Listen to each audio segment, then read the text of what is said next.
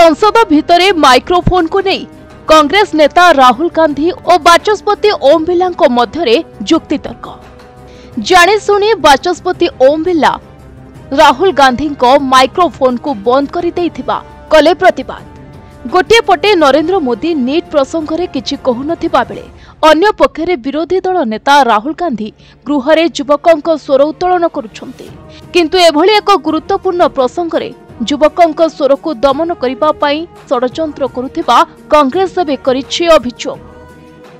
ଆଉ କୁହାଯାଇଛି ଯେତେବେଳେ ଏହି ମୁଦ୍ଦା ଉପରେ ରାହୁଲ ଗାନ୍ଧୀ କହିବାକୁ ଆରମ୍ଭ କଲେ ସେହି ସମୟରେ ଜାଣିଶୁଣି ରାହୁଲ ଗାନ୍ଧୀଙ୍କ ମାଇକ୍ରୋଫୋନ ବନ୍ଦ କରିଦେଇଥିଲେ ବାଚସ୍ପତି ଓମ୍ ବିର୍ଲା। କିନ୍ତୁ ଏହାପରେ ଓମ୍ ବିର୍ଲା ମଧ୍ୟ ସ୍ପଷ୍ଟ କରି କହିଥିଲେ ଯେ ସାଂସଦମାନଙ୍କ ମାଇକ୍ରୋଫୋନ ମୁଁ ବନ୍ଦ କରିନାହିଁ କି ମୋ ପାଖରେ କୌଣସି ପ୍ରକାର ବଟମ୍ ବି ନାହିଁ ସାଂସଦମାନଙ୍କ ମାଇକ୍ରୋଫୋନ ବନ୍ଦ ହେବା ତାଙ୍କ ଉପରେ କୌଣସି ପ୍ରକାର ନିୟନ୍ତ୍ରଣ ନାହିଁ माइक मैं बंद नहीं करता हूं पूर्व में भी आपको व्यवस्था दी थी यहाँ कोई बटन नहीं होता सर माइक को दे दीजिए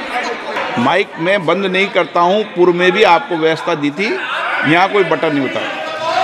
सर माइक को दे दीजिए ତେବେ ଲୋକସଭାରେ ବାଚସ୍ପତି ଓମ୍ ବିର୍ଲା ନିଟ୍ ପ୍ରସଙ୍ଗ ଉପରେ ଚର୍ଚ୍ଚା କରିବା ପାଇଁ ସହମତି ନଥିଲେ କାରଣ ରାଷ୍ଟ୍ରପତିଙ୍କ ଅଭିଭାଷଣ ପରେ ଏହି ନିଟ୍ ପ୍ରସଙ୍ଗ ଉପରେ ଚର୍ଚ୍ଚା କରିବା ପାଇଁ ରାଜି ଥିଲେ କିନ୍ତୁ ରାହୁଲ ଗାନ୍ଧୀ ଏହି ନିୟମକୁ ଭାଙ୍ଗିବା ପରେ ଓମ୍ ବିର୍ଲା କହିଥିଲେ ଆପଣ ଦୟାକରି ସଂସଦର ମର୍ଯ୍ୟାଦା ନିଭାନ୍ତୁ मेरा विषय है कि आपको दो नहीं आप जितना आपकी पार्टी का समय आप पूरा भी ले सकते हैं मुझे कोई आपत्ति नहीं आप डिटेल में बोलना। लेकिन एडजस्टमेंट मोशन पर और अन्य विषयों पर पहले ही व्यवस्था दे चुके हैं। इसलिए मैं सदन से आग्रह करूँगा कि आप प्रतिपक्ष के नेता हैं आप संसदीय मर्यादाओं का पालन करेगा, ऐसी मेरी अपेक्षा आपसे। তবে নিট ইউজি দুই হাজার চবিশ পরীক্ষার প্রশ্নপত্র লিক মামলার ছাত্রছাত্রী দ্বারা দেশব্যাপী বিরোধ প্রদর্শন করা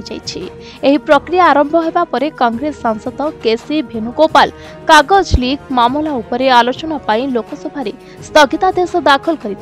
তবে বাচস্পতি যে সংসদরে রাষ্ট্রপতি উদ্বোধন বিষয়ে আলোচনা করা କିନ୍ତୁ ଏହାକୁ ଭାଙ୍ଗି ରାହୁଲ ଗାନ୍ଧୀ ବାରମ୍ବାର ନିଟ୍ ପ୍ରସଙ୍ଗ ଉପରେ ଚର୍ଚ୍ଚା କରୁଥିଲେ। Bureau report Pratidin TV.